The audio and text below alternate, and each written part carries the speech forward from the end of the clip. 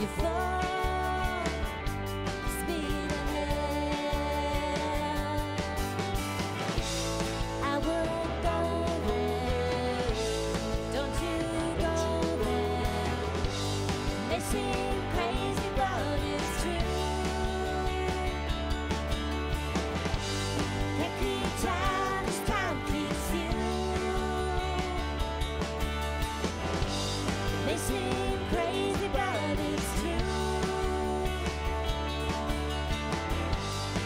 and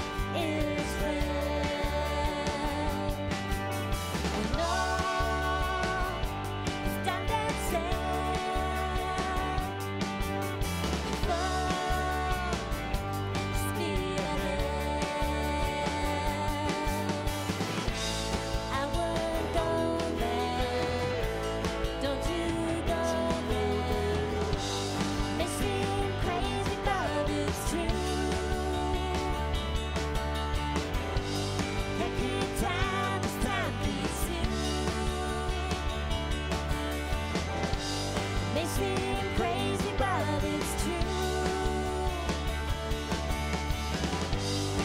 A.